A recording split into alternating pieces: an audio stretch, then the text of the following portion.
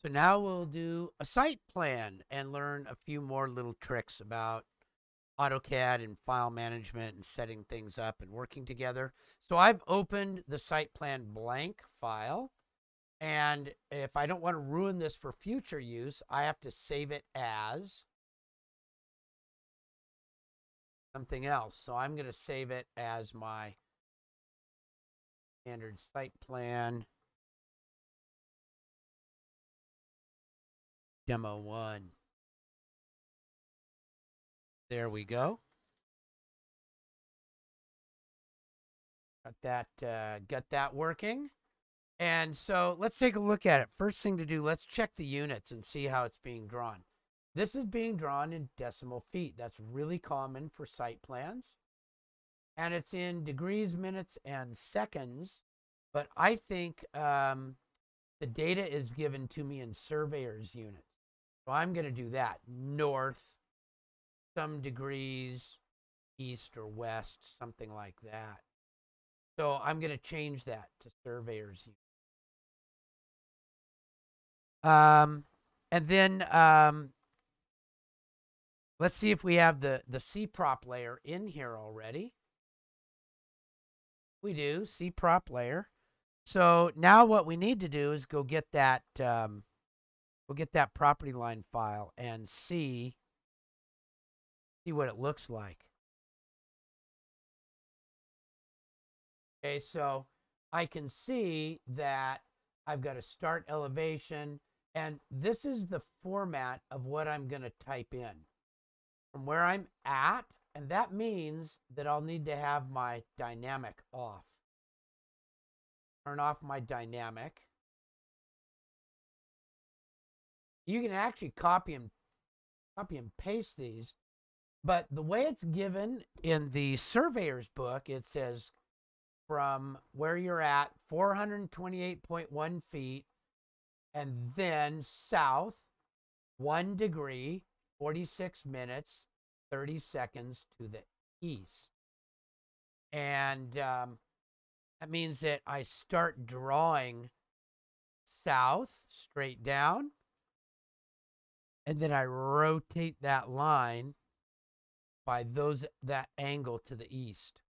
It's kind of an interesting way to do it. If you've done SketchUp before, this is exactly how SketchUp operates. You actually draw a compass line and put it in.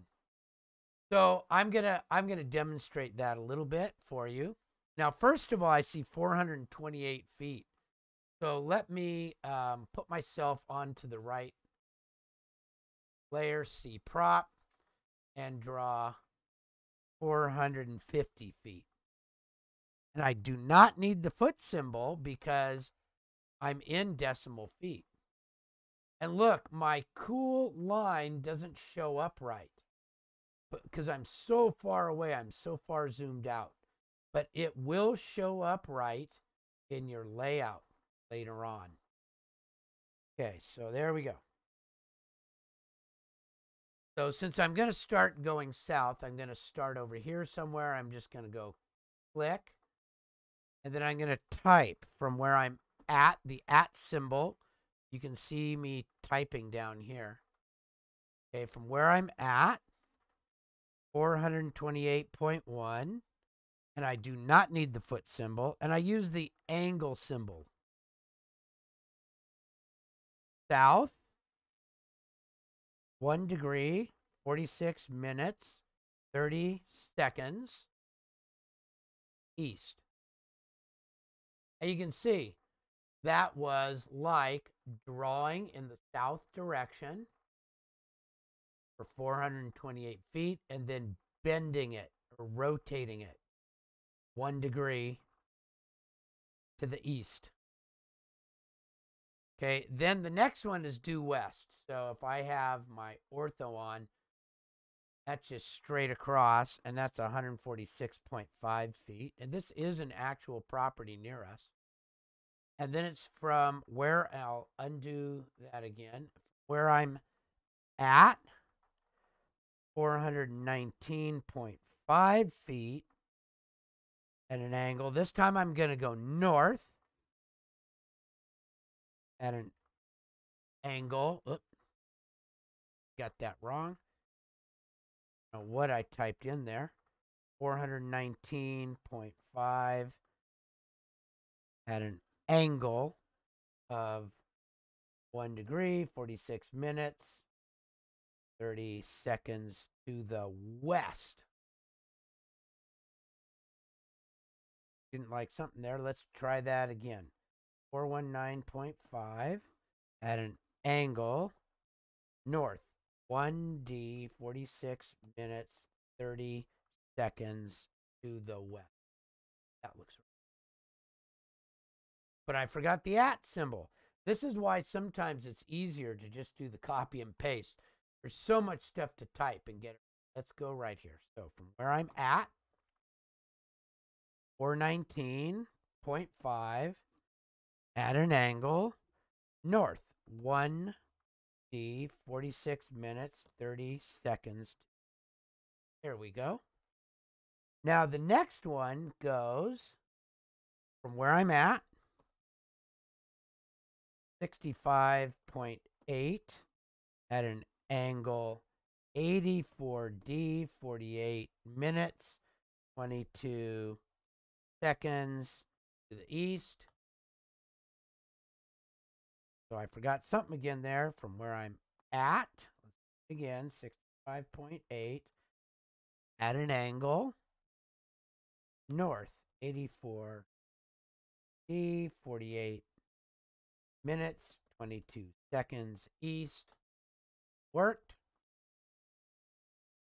And then my next one is 80.8 all right from where I'm at 80.8 at an angle north 84D 48 minutes 22 seconds east.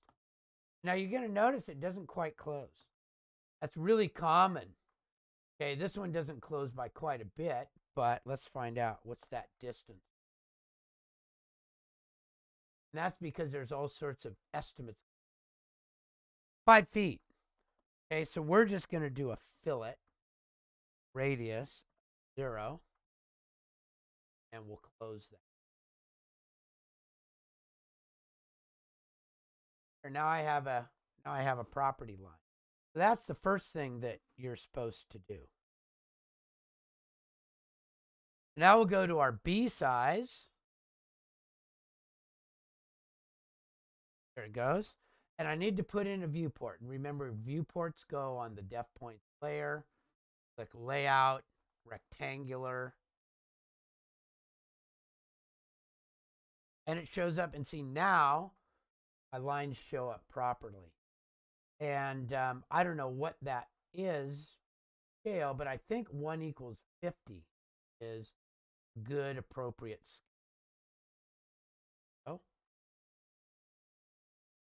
And remember that we want to lock that once we've got it in there so we don't accidentally change it. That's probably a good place to do a save.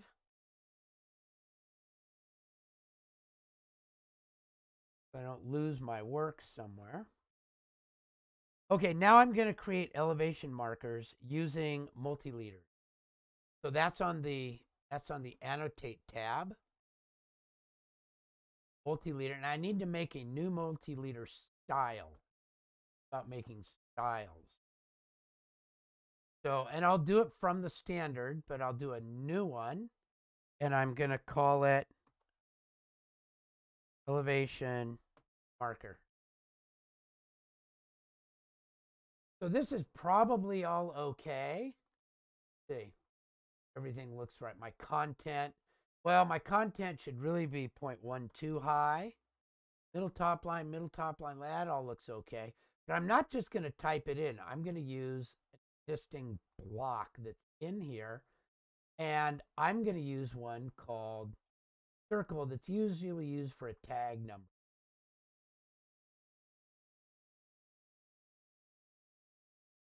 and I can. So now I'm going to use a multi-leader. I need to do it on not the def points layer, but on a text layer or a dimension layer. uh, I didn't say which one to use. I'll use it on a text layer. Let me do my here. Again. And then I'm going to put in that elevation from that point, and I have to go back to my um, thing and and read it. it. Says I started at an elevation two foot. Let me put two foot. There we go. And you'll do that on all the other corners also. Okay, and I've given you the, the elevation at the start of each one. This is 8, 9, 3, and 2 point. Okay, so that that does that part of it. And let's see if I've given you a sample for this. Um, no. So so just put those put those in there and that should do.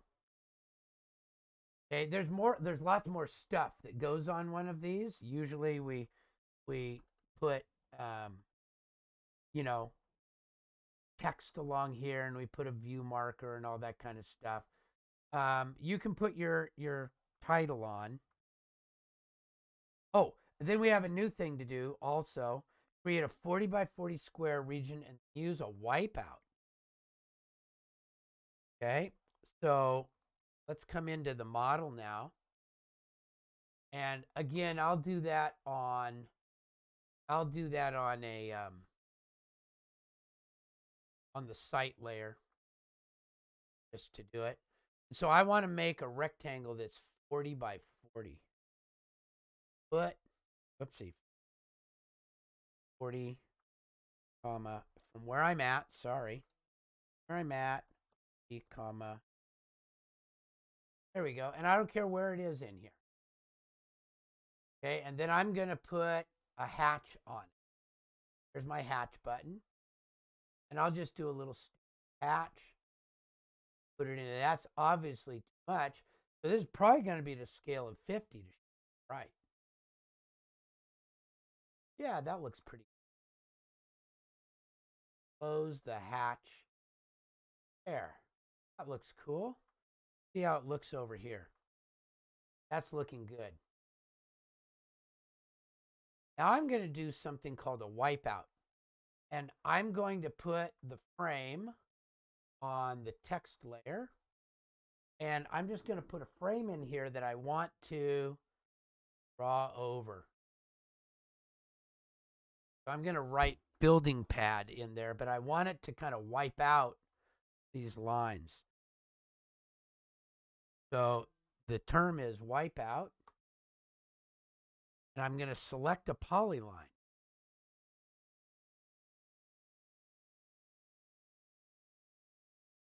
Right over the top of that. And that's given me a wipeout. So now, of course, I can do text. I'll do a middle center.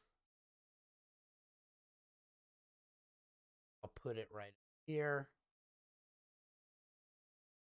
And my text height is probably going to be like 0.09. Small. Building. There we go. So that's the last thing I want you to do is be able to put this in here. Okay, it's just a, a technique that can be used. Wipeouts can be used um, to write on top of things and give you a clear area. So there we go. That's what you're going to do. You should fill all of this out as we've been going along, right? This one would probably be renamed as site plan. Company standard site plan. At this point, I think you've got the hang of it, of what to do to fill all of this out. Now you'll have your last part of a little drawing set. You'll have a floor plan, a space plan, a roof plan, and a site plan. There we go. That's how you work with civil units.